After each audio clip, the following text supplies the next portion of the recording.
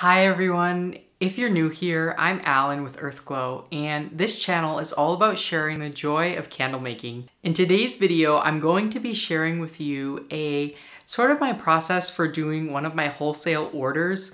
And so you're gonna see me making these candles from start to finish uh, for one of my wholesale clients.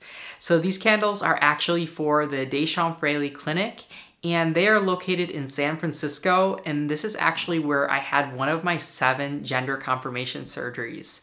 So it's kind of special because these candles are given to transgender patients after they've had uh, facial uh, gender confirmation surgery. And it's just something really special to me uh, to be able to do for this clinic.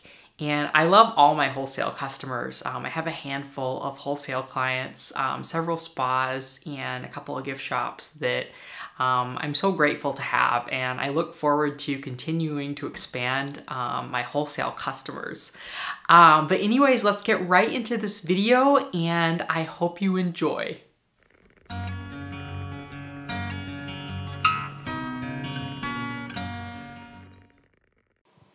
So usually the very first thing that I do is put on my gloves because when I'm using the Permatex as well as um, when I'm sealing my jars, it's just really helpful to wear gloves. And then these are just the little foam brushes um, that I use when I'm applying my Earth Safe Finishes preserver slash sealer. And so, because of the fact that the fragrance that I use for these candles is a very high content of vanillin, um, it does cause some discoloration in my tins. So, I do go through the trouble of sealing all of my candle tins. I don't actually seal the lids on these ones um, because I find that there's just not enough um, discoloration that it actually affects the lids. But um, I do go ahead and apply this um, to the inside of my tins just so you can see there what that looks like.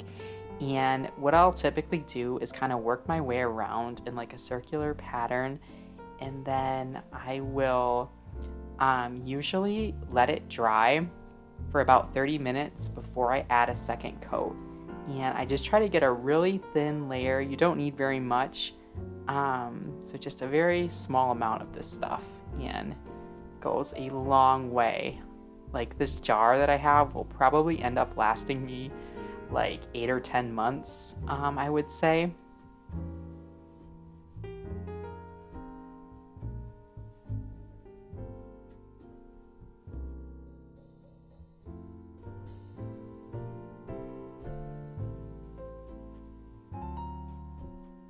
So this is what the final product looks like after the first coat and it does dry down really quick and then I'm just showing my little bag there so that um, I can reuse my brush. I just put it in one of those little bags.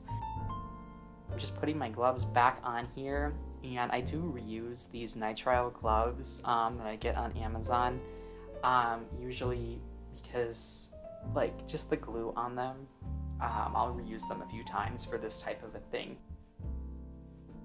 So I'm gonna just go ahead and do one more thin coat now that the other um, sealer has dried. And it is recommended to do two coats. Um, Nancy with Earth Safe Finishes, the manufacturer, or well, she's not the manufacturer, but she's the one who um, created the product and she does recommend that um, with 30 minutes apart. So I'm just going in, and this is really tedious. Um, like I would say it actually ended up taking an hour or two um, to do both coats, but it's so worth it because this will totally prevent that discoloration um, that typically happens when you have higher amounts of vanillin as well as sometimes it can happen with cinnamon or some types of citruses in your fragrance oil. So that is just adding that extra skin um, on the inside of your jar. This is after the second coat. You can hardly see um, that there's anything on there. It just looks nice and shiny. And Oh, I'm so happy that I found this product because it has made my life so much easier with these tins. Okay, and now I'm going to be using the CD12 Wick series, um, and I do get these from Candle Science or Flaming Candle, um, just whoever I'm ordering from really. But I'm going to be using, um, actually, I think before I get the Permatex, I just usually put them in the containers. And it saves me a lot of time to not have to get each individual wick. So I just kind of throw one in each container and then I'll go back in once I'm finished with this, um, with my Permatex, and then actually start adhering um, the wicks to the bottoms of the tins. And I do eyeball this. I know a lot of people will use like the wick centering tools. Yep, there's my Permatex. They don't go anywhere with this. Um, but um, yeah, I usually just eyeball it. Um, and I don't use any sort of centering tools. Sometimes there's like one or two that um, you know, just got a little bead of Permatex there. Just need a very small amount. But sometimes there's like one or two that will be so off center that I just will pull them and not use them for um, my customer or my wholesale client, etc. But usually, I think you can get pretty good at just kind of eyeballing where the center um, of your container is. Is kind of therapeutic and meditative to do this. And you're not in a rush, it's just kind of therapeutic. I'm just gonna fast forward. And then right here, I'm just showing how you can actually take a little bit of Permatex and put it on one wick and then just stick it to another and you can save yourself a little bit of time that way once you've figured out kind of how much Permatex you need. Uh, that's typically what I will do. And so you put that one bead on and then just stick it to another. And then sometimes if there's little spider webs, you can just sort of spin it around like that. And that will save you some time.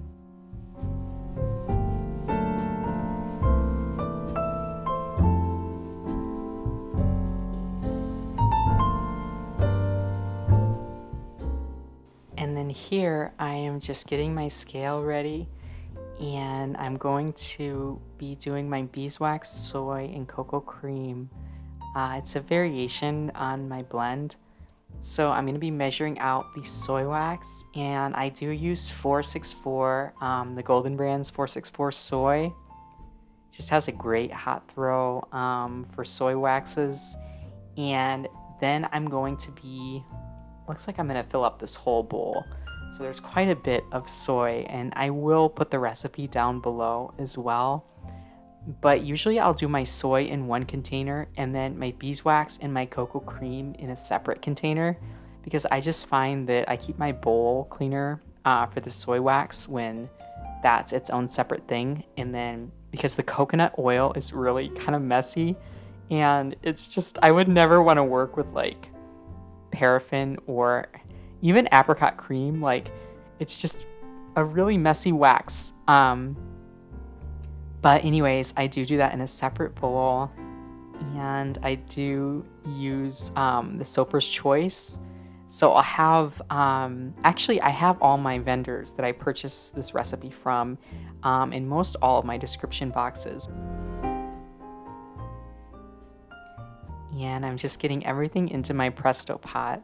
Now, I do usually use a Digiboil for larger orders um, when I'm making a lot of candles, but for this particular wax blend, since I did just start using it in um, 2022 at the very beginning of the year, actually at the end of the year of 2021 is really when I first started using it. Um, I just feel like I have more control um, when I'm using this blend in the Presto pot just better control of my temperatures. And so I'm to be pouring this in. And usually what I have to do is wait for all this to melt down before I can get everything in the pot because there's so much air when you just put the soy wax in especially. So I let some melt down and then I will go ahead and add more.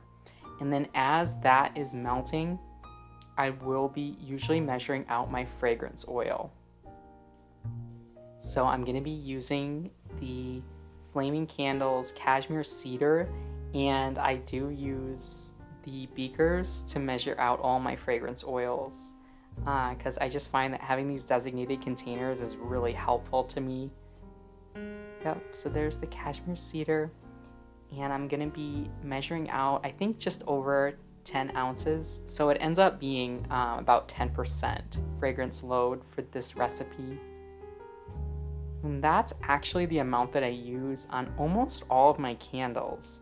Um, if a fragrance is particularly strong I will use sometimes as low as 7% but very rarely. Um, I would say for probably 90% of my candles, I use a 10% fragrance load. Um, but you always just want to check with your wax manufacturers for the right load. So I'm just stirring my melted wax here and I'm shooting the temperature with my infrared thermometer. And I usually do that to get like a generalized temperature, but you do need to always stir before you shoot your temperature with the infrared because it does just measure the surface temperature.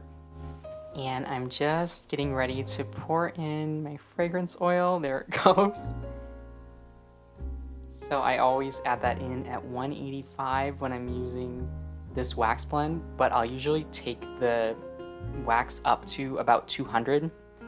Sometimes I'll even add it in at like 195 when I'm using this particular oil because it has a lot of vanillin um, but yeah, I'll take the whole blend up to 200 and that just kind of tempers the wax, almost like making chocolate.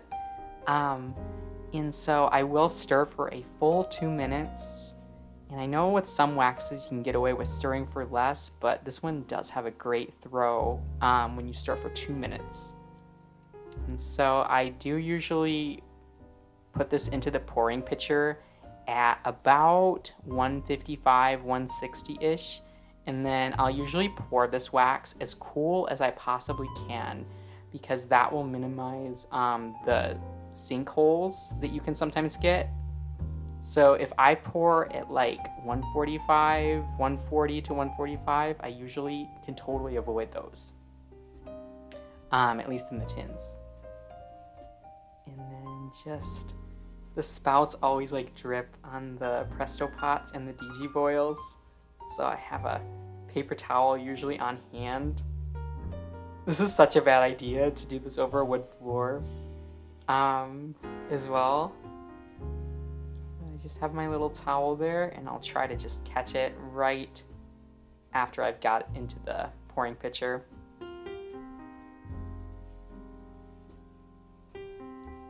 And this is one of my favorite parts of making candles. It's just always so magical because the whole room just smells like whatever fragrance you're working with oftentimes. Usually with these tins, so these are the ones I outsource on Alibaba, and usually I will have to do a little bit less than I think and come back and top them off. But they don't have like a marker. If you purchase tins from Aztec or the Flaming Candle, they have like a nice marker where you can see where the top of the kind of tin is. But anyways, it's just kind of a process of going back and forth and then adding more wax to the Presto pot because there's like three full pots to make 50 candles. And so it usually takes a few hours and I could do this so much quicker if I just used my Digiboil, which is what I use for literally all my other candles that are made with 464. I'm just not quite comfortable yet with this new wax blend.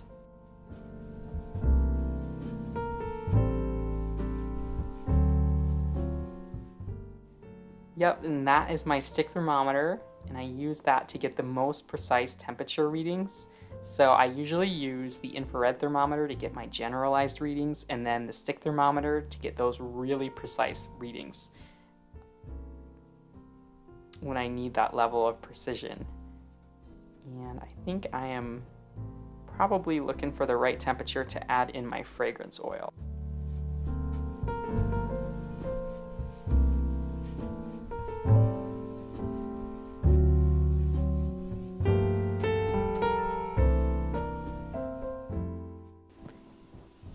Just getting ready to pour some more candles.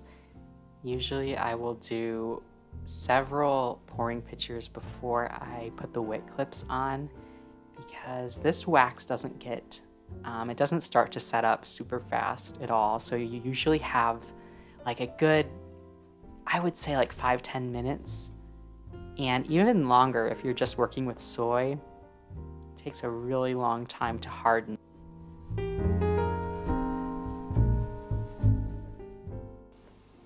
And these are the wick clips that I use. And I think they're actually called wick bars. Um, I get them on Candle Science now. I used to get them on Amazon, but the ones on Amazon, the holes in the center where the wicks go were sometimes like obstructed. So they weren't working out very well. Um, but the ones from Candle Science, I will say they're not perfect by any means, but they are better than the ones I've gotten on Amazon. But anyways, I'll just kind of go and you can see the wicks still sometimes will pop out of them. I used to use the ones that are where you set them over the tin and they have like a little hole in the center. And I started on those, but I definitely find that these wick bars are just a little bit easier and they just are kind of more aesthetically pleasing to me.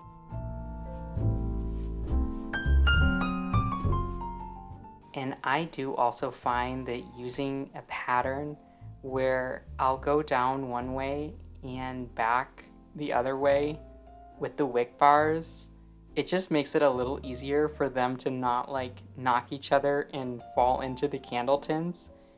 But it's just a very potentially messy process. And I will say that I always keep like a spare pouring pitcher or at least some paper towels off to the side so that if I start spilling, I can just like, for example, like if a wick bar falls into a candle, I can just drop it in the pouring pitcher. Um, because once they fall in, they're kind of done. So I am just getting these ones done and then I'll have to go back and actually make one more pot Um, because um, I don't have all the tins filled yet. So it's like three batches in the Presto pot to fill these 50 tins.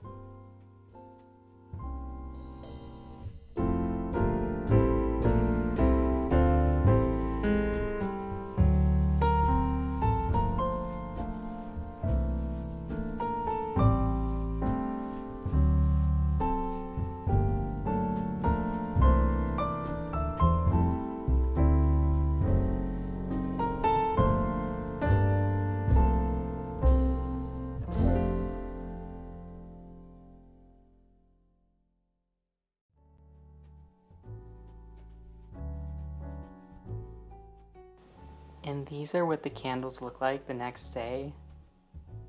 I usually let them harden overnight before I remove any of the wick bars or trim the wicks. Sometimes with 464 you can get frosting, but I found that when I add the beeswax and the coco creme to it that it totally avoids that generally. Get a nice creamy finish. So just removing all those wick bars and then I'm going to be using wick trimmers to trim the wicks on all of these down to about a quarter of an inch. Uh, I'd say maybe an eighth to a quarter of an inch. Because um, I like it to be a little bit longer for the first burn, um, but an eighth of an inch is ideal for subsequent burns. Um, and these wick trimmers that I use, I actually get on Amazon and I will link them below. They're just super sharp.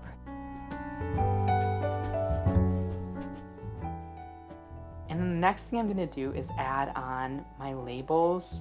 So these are the labels and I do print these just on an inkjet printer, but um, I actually seal them with a Krylon. I believe it's the triple gloss because um, I like the finish that it has and then it also keeps the black ink from um, transferring. So I usually just press at the center and then work my way out with my fingers kind of really flat on there just to avoid bubbles. Sometimes you will still get bubbles and I'm sort of a fanatic. I will actually take off the label and just not use it if there's bubbles because it just drives me crazy. But I do all my own label design on Maestro through online labels, and I purchase my blank labels from online labels as well. And I don't use Canva like most people I think do when they're doing their label design. Sort of old school, I guess, with using Maestro. I think most people import from Canva. Had some friends who are like, Alan, you need to start doing that. Um, but I've been generally happy with using the Maestro label design software, so I've seen no need to switch at this point to Canva. And then I'm gonna just be going through all of these candles. It does take some time, but it's kind of therapeutic again. Like, you wanna do it when you're not in too much of a rush.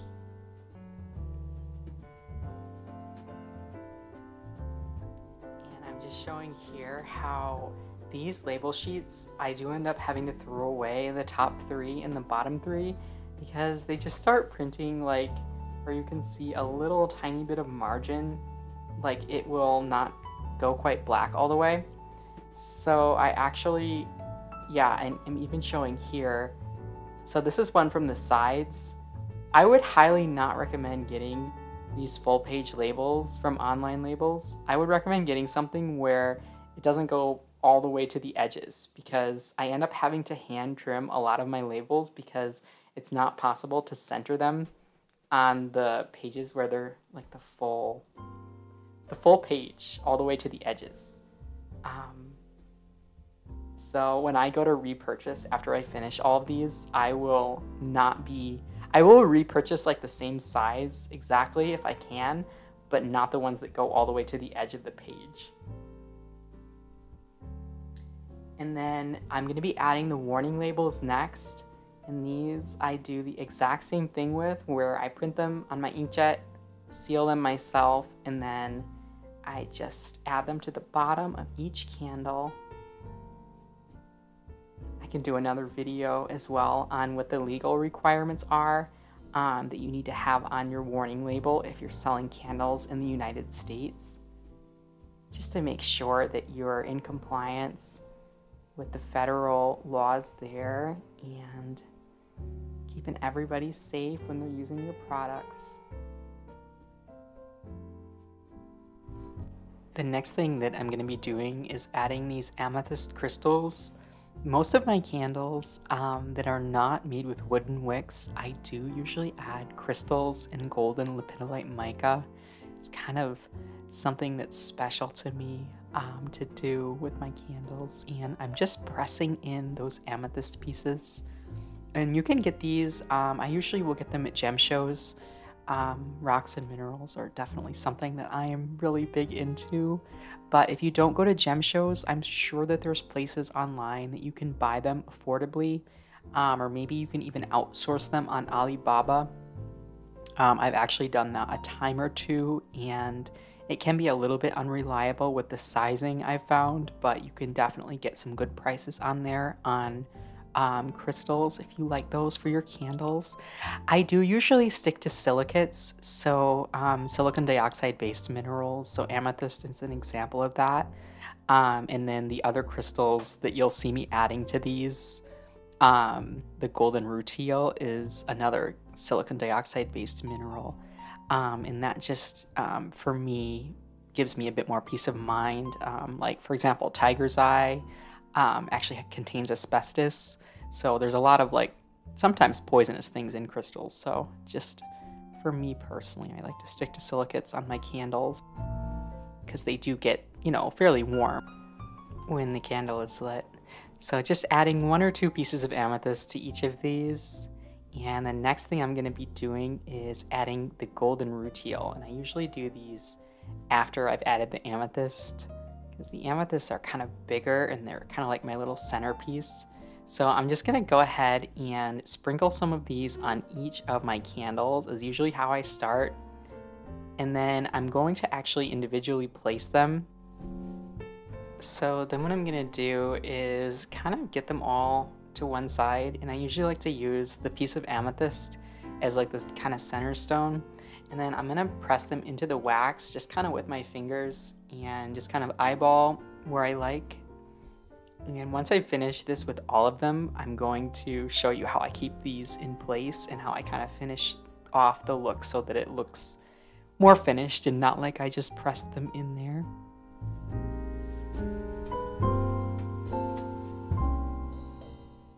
So what I actually use is this creme brulee torch and I just start going around the candle and you have to be really careful with this. Um, I'd recommend a heat gun if you're new because uh, it is easy to set the wick on fire and so you also just want to keep it on a low setting and I'll link the torch that I use in the description box as well but um, I would recommend just wearing goggles just in case any of the crystals do get too hot.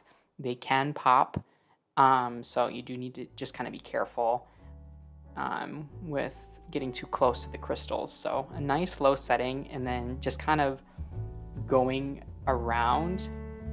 And one of the biggest challenges is that the crystals can oftentimes fall into the center and I like to keep them more like at the sides of the container. So I usually go around like twice and because I don't want to melt too much wax so that they slide. So I'll like do my first round and then let it harden a little bit and then I'll come back around and do a second take on them. And then I totally let the wax almost completely set up. So I would say I wait like probably an hour or two before this next step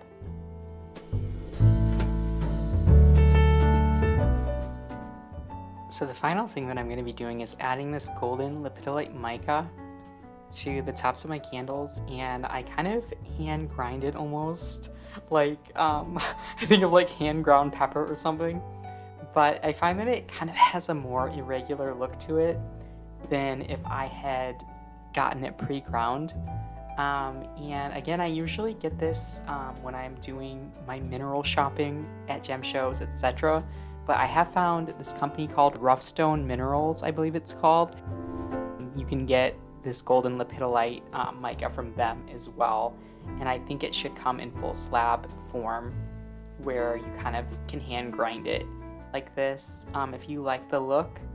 But mica is just such a beautiful touch. And it I do try to get it pretty ground up just so that way it doesn't catch fire um, if you get too big of pieces, they can burn. Um, mica will burn, unlike the crystals. I just try to get really, really finely ground pieces.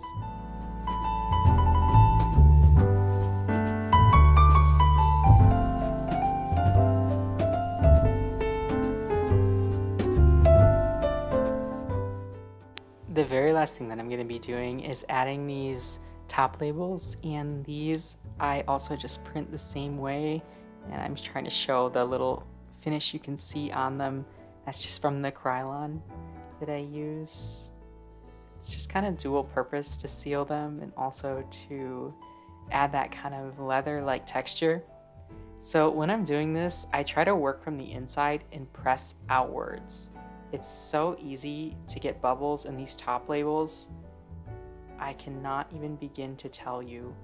But I do find that getting the matte labels works better than getting the gloss labels.